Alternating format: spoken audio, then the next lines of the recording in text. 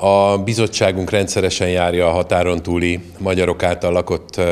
területeket, és itt Kárpátalján különösen fontosnak tartottuk, hogy jelen lehessünk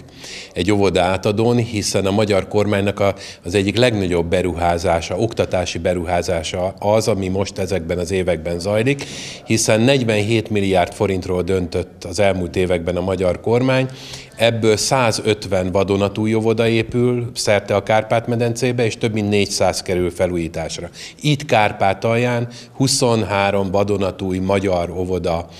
épült, vagy fog épülni a közeljövőben, és 106 óvoda került felújításra, mint itt most Ungváron, ebben a, a 11 csoportos ukrán és vegyesen magyar óvodában itt két magyar csoport kerül elhelyezésre, és 21. E, századi körülmények várják a gyerekeket. Ezt azért tartja fontosnak a magyar kormány és Magyarország, mert aki magyar óvodába jár, az vélhetően magyar iskolában fogja folytatni a, a tanulmányait, és így megmarad a magyar nyelv, a magyar kultúra, tehát meg lehet maradni magyarul magyarnak itt Kárpátalján is.